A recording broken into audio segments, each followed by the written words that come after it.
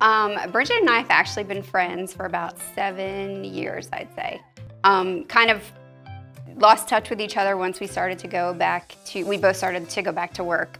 Um, and then I posted something on the Facebook page in our community that um, we were thinking about selling our house. And I guess Brigit caught it and she kind of like a few weeks later had sent me a quick message and said, Hey, I don't know if you know this, but I'm a realtor now.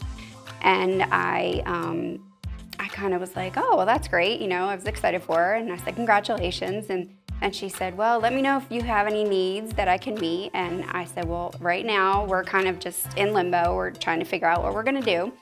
Um, but I'll let you know. And at that point, we actually had a realtor that we thought we were going to use who was a friend of ours. But the closer we got to actually selling the house, I realized he didn't really know our market. Um, we were over the $400,000 and he was more of like a 250 kind of guy. So um, I was a little nervous about him trying to sell a $400,000 house. Um, and then Brigit popped back in my head um, and I called her and I said, you know, I know you're a realtor. Um, how many houses have you sold? And she kind of got back and we chatted back and forth. And then she just said, um, well, let me know if there's anything I can do.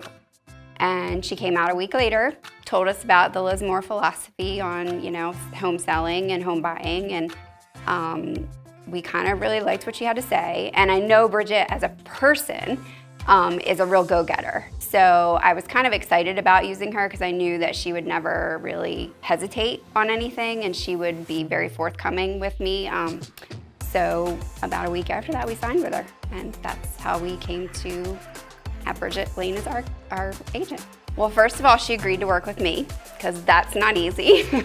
um, and she really knew what she was getting into. I'm a little bit of a perfectionist, um, so she was very well aware of my personality and was still willing to go that extra mile. But she really, um, she really went above and beyond a lot. Um, she had some really good ideas that she implemented as time went on because we had a couple of open houses that uh, I think one person came to.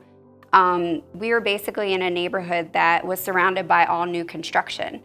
And when you're trying to sell a nine, 10 year old house with all this, you know, bright, shiny stuff around you, nobody wants the nine, 10 year old house. They all want the, you know, slightly more expensive but newer houses.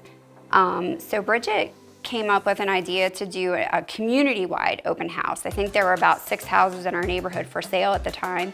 And she got all these different agents from different agencies together and said, let's do a, like kind of a fall like showing. And they all um, agreed to do it. And so we had a huge community open house. And I think we had the most people at that open house that, than we had at any other one. So we had probably think she said we had like seven families or seven, you know, couples walk through.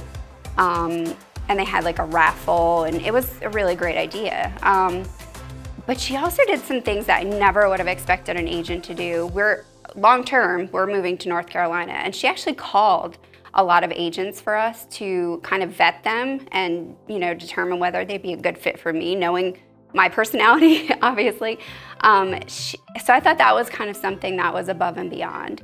Um, she also, um, she was really quick to follow up with people who walked through our house. Like she didn't even give them 24 hours. She was like, I want to know now, like, you know, what did you think? And so, and then she got back to us really quickly with all the feedback. And I really appreciated that. Um, but she's just really an honest, extremely organized, um, keeping me on my toes constantly and always following up. Even when we had lulls, when we had the lowest, you know, we didn't have anybody walk through for a couple of weeks, she always touched base with us every single week and said, you know, how are things going? How are you feeling? And that kind of thing. And I appreciated that. But she also knew when to back off, which I think, um, you know, some agents push, push, push. And she was kind of like, you know, let me know if you need something. And then she would just kind of back off. And it was great. So we had a great relationship.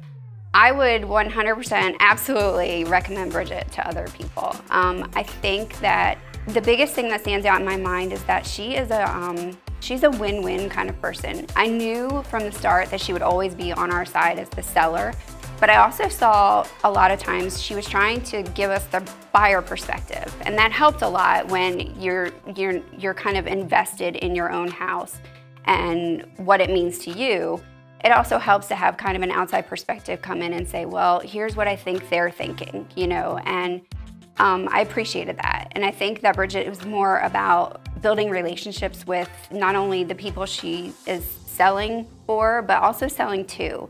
I think that's where she really thrives and excels, and um, I appreciated that. So I would definitely recommend her.